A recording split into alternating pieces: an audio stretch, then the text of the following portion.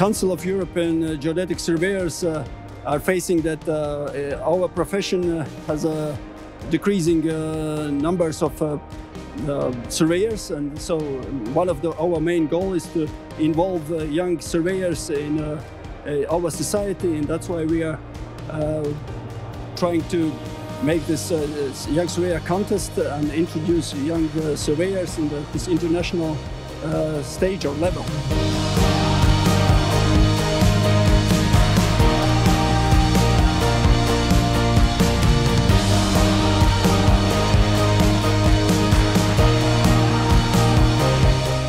I'm really happy that the Luxembourg signed this code of professional qualification today.